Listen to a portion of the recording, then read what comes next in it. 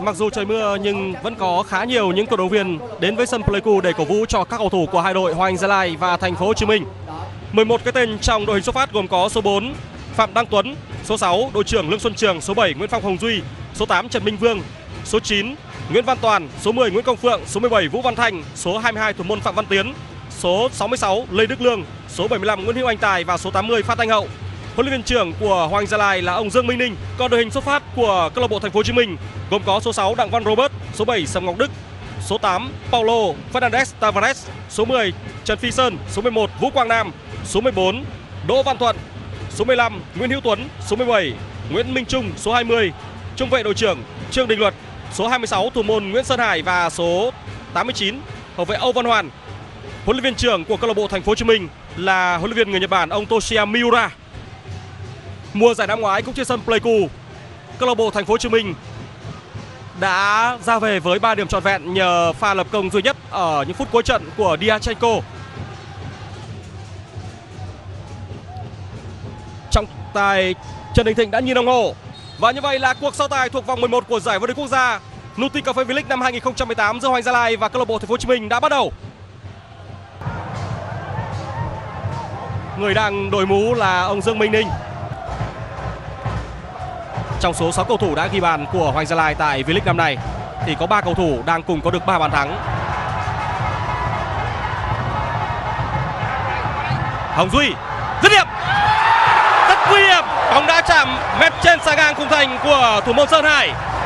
Một pha solo xử lý rất kỹ thuật và dứt điểm hiểm hóc của Hồng Duy. Vừa rồi thì Hồng Duy đã có cơ hội để có được bàn thắng thứ hai của mình tại giải vô địch quốc gia năm nay. Chúng ta hãy cùng xem lại pha đi bóng rất tự tin trong vòng vây của 5 đến 6 cầu thủ áo đỏ. May mắn đã mỉm cười với câu lạc bộ Thành phố Hồ Chí Minh trong tình huống này. Một cú sút bằng chân thuận của Hồng Duy.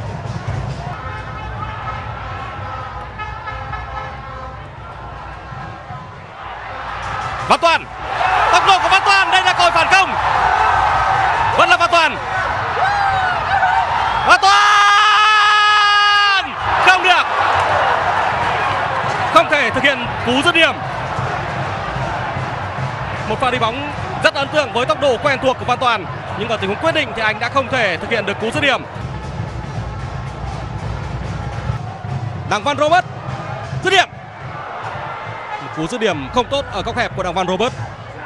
Trước đó là một tình huống đánh đầu chiến thuật rất tốt của Vũ Quang Nam.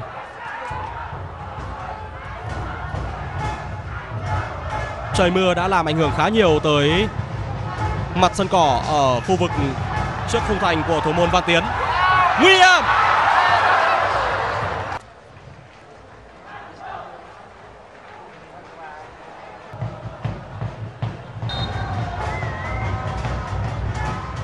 Công Phượng, rất nguy hiểm! Bóng đi cắt ngang qua khung thành của thủ môn Sơn Hải. Một tình huống phối hợp đá phạt góc khá bất ngờ khi mà Công Phượng không thực hiện đường treo bóng bổng mà thực hiện một cú căng ngang với lực rất mạnh Sông Quang Đức nguy hiểm rất đáng tiếc cho đặng Văn Robert đó là một tình huống mà nếu như đệm lòng thành công thì có lẽ bàn thắng mở tỷ số đã tới với đội khách câu lạc bộ Thành phố Hồ Chí Minh. Chúng ta cùng xem lại tình huống này. Hàng phòng ngự của Hoàng Gia Lai đã bị đánh bại. Nhưng đáng tiếc là trong một tình huống đệm bóng trong khu vực 5m50, Đặng Văn Robert đã không tiếp xúc trúng bóng. Không, không phải. Đó là pha xử lý của Thanh Hậu. Và như vậy là sẽ có một quả đá phạt dành cho đội chủ nhà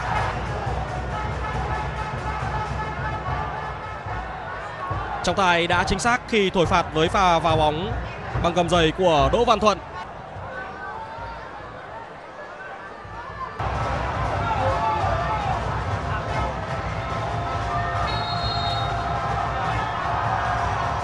Xuân Trương Bóng không qua được hàng rào chắn. Sóng gió đã tạm trôi qua trước khung thành của thủ môn Sơn Hải.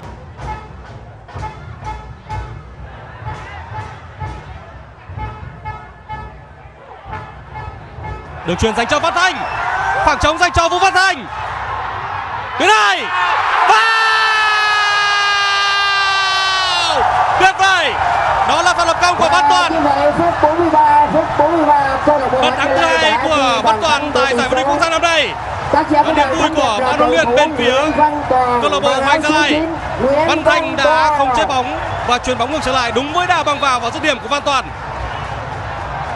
Đây cũng chính là bài tập phối hợp trong cuối buổi chiều ngày hôm qua của câu lạc bộ Hoàng Gia Lai. Một không dành cho đội chủ nhà và công bằng mà nói thì thế trận trước khi bị nhận bàn thua trong pha bóng này thì các cầu thủ thành phố Hồ Chí Minh cũng đã có được một thế trận khá tốt. Trương Đình Luật, Đặng Văn Robert. Đặng Văn Robert là cầu thủ có nhiều cơ hội nhất trong hiệp một bên phía câu lạc bộ thành phố Hồ Chí Minh. Trong đó đáng tiếc nhất đó chính là tình huống đệm bóng không trung bóng trong khu vực 5m50 bỏ lỡ cơ hội mở tỷ số cho câu lạc bộ thành phố Hồ Chí Minh. Đây là Nguyễn Phong Hồng Duy. Xuân Trường. Minh Vương. Hồng Duy. Và thoát xuống bên phía cánh trái của Hồng Duy.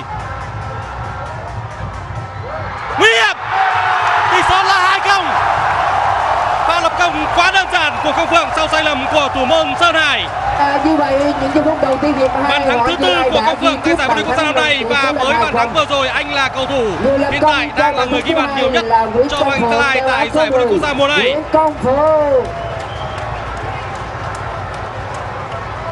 Trong bàn thua vừa rồi của đội khách thì lỗi rất lớn thuộc về thủ môn Sơn Hải.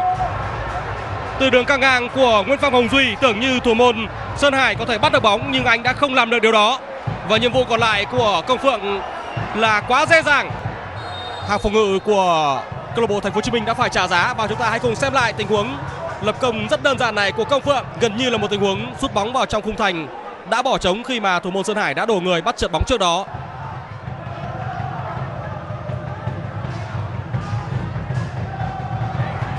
pha can thiệp đúng lúc của anh Tài. Đây là Lương Xuân Trường. Công phượng không vào đó là tình huống mà Công Phượng đã chọn giải pháp dứt điểm chứ không truyền ngang sang cho các đồng đội vừa rồi nếu như Công Phượng thực hiện động tác giả vào chuyền bóng cho Minh Vương thì có lẽ là Minh Vương đã có khung thành trống để có thể thoải mái dứt điểm một tình huống kiến tạo thêm một lần nữa cho chúng ta thấy được khả năng quan sát kiến tạo cực tốt của đội trưởng Lương Xuân Trường. Như chúng tôi đã đề cập, hàng tấn công của đội chủ nhà Hoàng Gia Lai chờ đợi rất nhiều vào những cái tên. Như vậy là đã có tỷ số rút ngắn xuống còn 1-2 dành cho câu lạc bộ Thành phố Hồ Chí Minh. Đó là cầu thủ vào sân thay người, Huỳnh Văn Thanh. Từ một quả ném biên tưởng như không có gì nguy hiểm. Một cú sút rất tốt của Huỳnh Văn Thanh Không có một chút cơ hội nào cho thủ môn Văn Tiến bên phía đội chủ nhà với một cú sút rất căng và lại vào điểm rất khó. Văn Toàn, Cầu Phượng. Văn Toàn, điểm. Không vào. Một trong những tình huống phối hợp ăn ý hiếm hoi kể từ đầu trận của bộ đôi Công Phượng và Văn Toàn. Cũng giống như cơ hội trước đó dành cho Công Phượng thì cú dứt điểm vừa rồi của Văn Toàn đã đi trên cầu dọc khung thành của câu lạc bộ Thành phố Hồ Chí Minh. Và đó là thử thách đầu tiên đối với thủ môn dự bị Thanh Diệp sau khi vào sân để thấy chỗ cho thủ môn Sơn Hải. Trong pha bóng này nếu như Văn Toàn chuyển bóng ngược trở lại cho Công Phượng có lẽ sẽ có một cơ hội rõ ràng hơn dành cho câu lạc bộ Hoàng Gia Lai. Cú đánh đầu phá bóng của Hồng Duy. Và như vậy là rất bắt ga. Tỷ số được của mình hai đều và chỉ trong vòng ít phút thôi. Cầu thủ Thành phố Hồ Chí Minh đã có được hai bàn thắng Sai lầm vừa rồi là của thủ môn Văn Tiến. Và người đã ghi bàn có lẽ là Đỗ Văn Thuận. hai hai Đây là một tình huống mà thủ môn Văn Tiến đã làm việc không tốt. Và bây giờ thì hai đội sẽ phải bắt đầu lại trận đấu từ đầu. Pha xử lý của Đỗ Văn Thuận. Anh đã vượt qua được Hồng Duy. Nguy hiểm. Vẫn còn. Có hai cầu thủ đang nằm sân nhưng trận đấu vẫn đang tiếp tục diễn ra. Cầu thủ bị đau bên phía đội chủ nhà đó là Nguyễn Hữu Anh Tài và người bị đau bên phía đội khách câu lạc bộ Thành phố Hồ Chí Minh là tiền đạo Vũ Quang Nam. Chúng ta vẫn chưa biết điều gì đã xảy ra trong pha va chạm này.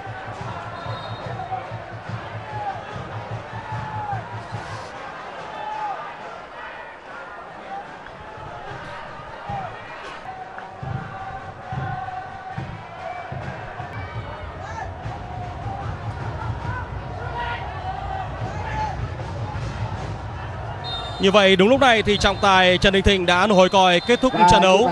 kết quả chung cuộc, câu lạc bộ Hoàng Gia Lai đã bị chia điểm với tỷ số hòa hai đều trong trận đấu tiếp câu lạc bộ Thành phố Hồ Chí Minh trên sân Pleiku trong khuôn khổ vòng đấu thứ 11 của giải vô địch quốc gia Nutica Cafe V-League năm 2018. Một trận đấu hay và hấp dẫn và có thể nói là kết quả hòa hai đều là một kết quả mà cả hai đội đều không hề mong muốn.